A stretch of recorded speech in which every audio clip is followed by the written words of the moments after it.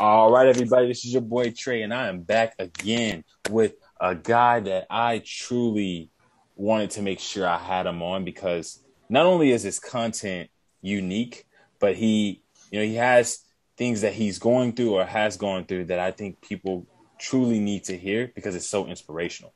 You know, it's it's he, he's he's truly a guy I believe that embodies the aspect of not giving up, even when things are tough even when you're going through certain things. And so you'll be able today to truly, um, I believe, have a story that can inspire you and show you just exactly what that aspect means and looks like.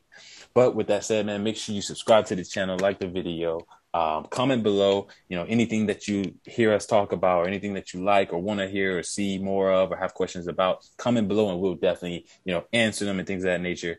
Also, make sure you hit me up if you too want to do what my guy here is doing today, and you want to share your story, you want to step out and actually be um, somebody that is a light to someone else, hit me up. Hit me up in the DMs. Do whatever you got to do.